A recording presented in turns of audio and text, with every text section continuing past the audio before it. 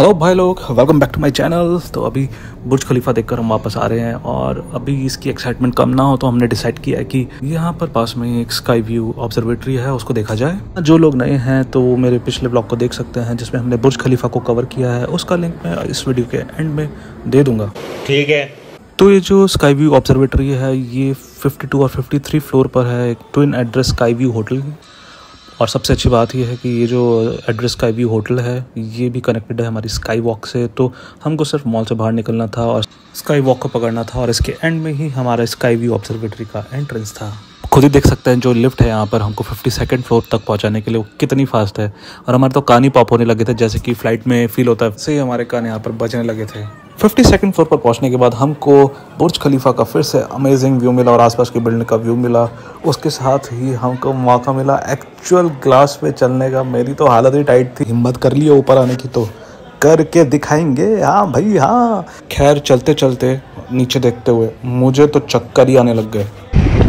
Land करा दे बस भाई मेरे। इसी तरह हिम्मत करके ग्लास के ऊपर बैठ भी गए। थोड़े से पोजेस मारे थोड़े कैप्चर्स किए मोमेंट्स ये भी ज़रूरी है क्योंकि ऐसा मौका फिर कहाँ मिलेगा? हमको दुबई माल के बाहर बने इस वाटर फाउंटेन को भी देखने का मौका मिल गया तो हमने जूम करके देखा। बहुत मस्त लग रहा था यार।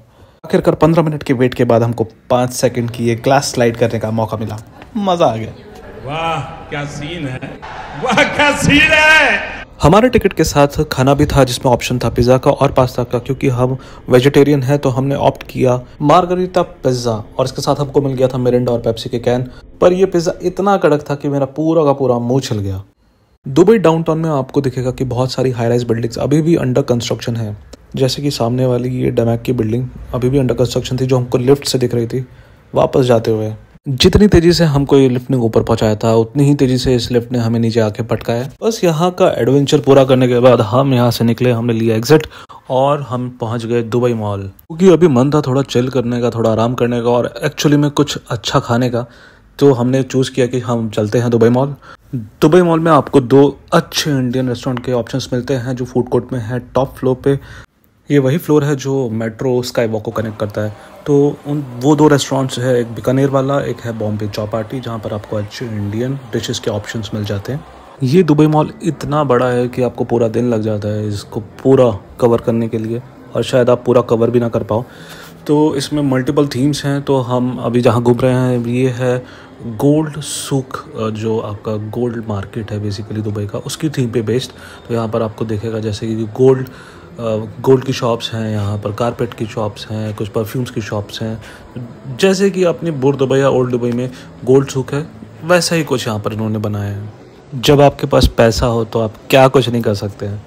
तो ये चीज़ ये डायनासोर का फॉसिल तक ले आए अंदर। अब ये दुनिया का सबसे बड़ा मॉल है तो हम इतना तो एक्सपेक्ट कर सकते हैं एक डायनासोर मॉल के अंदर। पर इस मॉल के अंदर बहुत सारे स्कल्पचर्स बहुत अच्छी अच्छी चीज़ें देखने को मिल सकती हैं। अच्छा ये जो वाटरफॉल है इसके अंदर, जिसमें आपको दिखेंगे कि बहुत सारे लोग डाइव करते हुए नज़र आएँगे आपको, ये एक इल्यूजन वाटरफॉल है। अगर आप किसी एक स्टैचू पे ध्यान देंगे तो बाकी की स्टैचूस अपने आप गायब हो जाएगी। है ना अमेजिंग तो इसी बात पे अपनी अमेजिंग उंगलियों के साथ इस वीडियो को लाइक एंड शेयर ज़रूर करिए। और अगर आप नए हैं हमारे चैनल पर तो प्लीज़ सब्सक्राइब करना मत भूलिए। मिलते हैं अपनी अगली वीडियो में।